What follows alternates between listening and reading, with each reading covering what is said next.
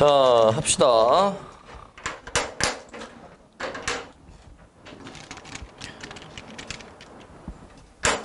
음. 자, 봅시다, 이제. 요거 지금 본문 두 번째 거지? 16페이지 자료. 자, 할게, 이제. 제목 먼저 보시면, 치즈버거 풋프린트야. 일단, 치즈버거는 말 그대로 그냥 치즈버거라고 해석하면 되는 것이고, 풋프린트가 뭔 뜻이야? 어, 풋은 발이고, 프린트는 뭔가 인쇄된 걸 말하는 거니까, 발이 찍어 놓은 자국, 발자국 얘기하는 거야. 발자국이 결국 뭐야?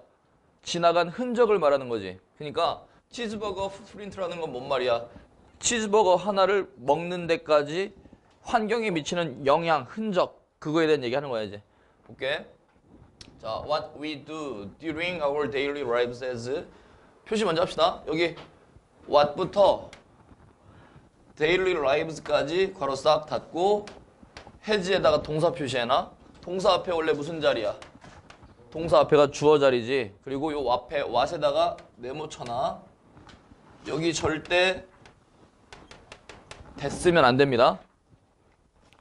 관계대명사 왔어야 되는 거야. 됐으면 안 돼. 자, 관계대명사 왔의 특징이 뭐라고 그랬어? 어, 앞에 선행사 없고 뒤에 불완전. 그 다음에 관계대명사 왔이 이끄는 절은 무슨 절? 음, 여기도 봐봐. 만약에 지금도 물론 이것도 뭐 외우긴 해야 되는데 무슨 절인지 머릿속에 안 외워져 있어. 근데 내가 지금 여기다가 뭐라고 표시해놨어? 주어 자리라고 표시해놨지. 그럼 주어 자리에는 어떤 품사밖에 못 들어간다고 외우고 있는데 어, 주어 자리는 명사만 쓸 수 있잖아. 그지? 그러니까 관계대명사 와시 이끄는 명사 절이 지금 문장에 주어 자리 들어가 있는 거야. 그 다음 하나 더. 구나 절이 주어 자리 들어가면 항상 뭐 취급하라 그랬어? 구나 절이 주어 자리 들어가면 뭐 취급해야 돼? 어, 3인칭 단수. 그것도 막 여기 봐봐. 동사 자리 봐봐.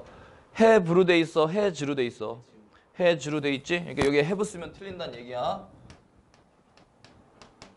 자, 그럼 해석할게. 자, 위 우리가 두 우리가 하는 것은 우리가 하는 일은 이 뜻이야. 됐어? 다시 우리가 하는 것은 우리가 하는 일은 근데 언제 하는데 during our daily lives니까 우리의 일상생활 동안 우리가 하는 것은 우리가 하는 일은 이 뜻이라고 됐지? 자 일상생활 동안 우리가 하는 일은 has 가지고 있습니다 근데 가지다로 해석하면 안 되겠네 여기 뒤에 봤더니 have an, have an impact on이라는 표현 보여 이거? 음, 이거 단어 프린트에 정리돼 있죠? 무슨 뜻인데? 어 have an impact on 됐어? 이때 impact 대신에 뭐가 들어갈 수 있어? 어, on impact 대신에 influence란 단어가 들어갈 수도 있고 또는 하나 더 있잖아. have an effect on이라는 표현도 되고 다 되는 거야. 같은 뜻이야. 뜻은 뭐야? 뭐뭐에 이때 전치사 on이 뭐뭐에에 해당하는 거야. 뭐뭐에 영향을 미치다 이 뜻이야.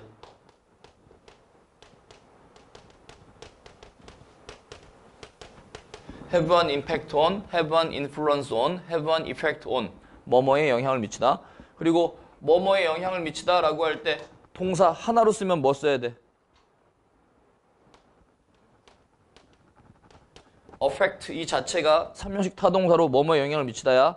그 다음에 여기에는 지금 동사 have 뒤에 목적어 자리에 impact나 influence 명사로 쓰여 있는데 얘나 impact나 influence는 요 자체로 동사도 되는 거야. 뭔 말인지 알아들어 지금? 음. 그러니까 여기에 쓰여 있는 요 impact, influence 얘들은 명사로 쓰인 거고 얘는 삼형식 타동사로 쓰여서 바로 뒤에 목적어 취할 수 있다고. 됐냐 뭔 말인지? 다시 합시다 이제. 그럼 여기엔 어떻게 하면 되겠어? 우리가 일상생활 동안 하는 일은 더 많은 영향을 미칩니다. 이 얘기야. 됐어? 많은 영향을 미칩니다. 어디에다가? The environment. 환경에. 됐어? 근데 앞에 봤더니 여기 뭐 있었어? 비교급 than 있었지? 그러니까 뭐뭐보다 더 많은 영향을 미칩니다. 자, 뭐보다야? You, 네가 may realize. realize가 뭔 뜻인데? 어, 깨닫다, 실현시키다 이 뜻이죠? 그러니까 네가 깨닫는 것보다 네가 생각하는 것보다 환경에 더 많은 영향을 미칩니다. 이 얘기야. 됐지? 다시 하고 넘어갈게 이제.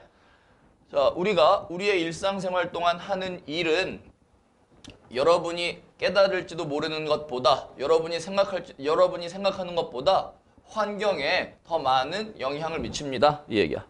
됐지? 넘어갑시다. 자, our daily activities 여기까지 문장의 주어야. 우리의 일상의 activities 활동들은 됐어? 우리의 일상의 활동들은 produce 만들어냅니다. 뭘 만들어내? greenhouse gas니까 온실가스를 만들어냅니다. 됐죠? 콤마 위치야. 관계대명사 위치 앞에 콤마 있으니까 관계대명사의 무슨 용법이라고? 계속적 용법이라고 부르고 해석할 때는 이 관계대명사를 접속사 플러스 대명사로 풀어서 해석하는 거야. 일단 써놔. and day라고 쓰세요. 관계대명사 위치 밑에다가 and day라고 쓰고 요 day가 가리키는 게 이 앞에 있는 온실가스 얘기하는 거야. 여기 보니까 지금 온실가스 복수로 돼 있지? 그지? 복수로 돼 있으니까 복수형 대명사 day로 받은 거야. 자, 해석합시다 이제. 우리의 일상의 활동들은 온실가스를 만들어냅니다. 그런데 그 온실가스들은 contribute to. contribute to 뭔 뜻이야? 음, 뭐뭐에 기여하다, 뭐뭐에 공헌하다, 혹시 혹은 무엇의 원인이 되다 이렇게 생각하면 되는 거야. 됐어? 이때 to는 전치사 to다. 그러니까 뒤에 이렇게 명사 나와야 돼. The greenhouse effect니까 온실 효과와 climate change 기후 변화의 원인이 됩니다. 됐어? 한번 다시 이거 뜻 써놔. to 뭐뭐에 기여하다. 뭐뭐에 공헌하다. 혹은 무엇 무엇의 원인이 되다. 요 밑에 거 두 개만 외우지 말고 저 두 개는 어차피 중학교 때 다 했던 거잖아. 뭐뭐에 기여하다, 공헌하다는.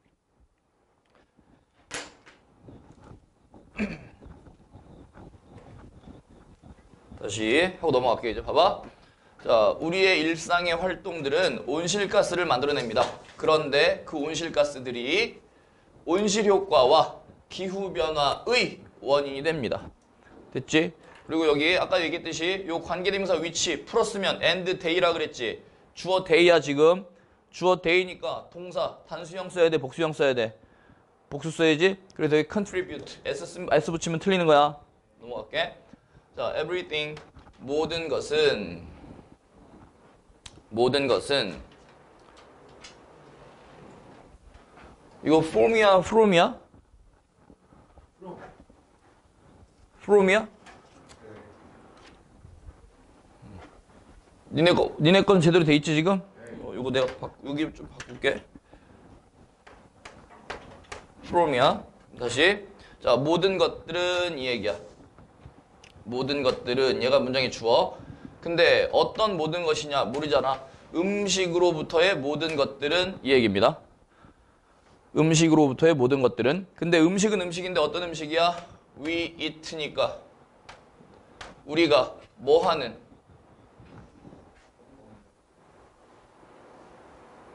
됐어? 다시 표시 다시 할게. 주어 표시해 놓고 자, from A to B까지. to C까지. 여기까지 일단 체크해놔 이렇게. 요거 먼저 얘기합시다.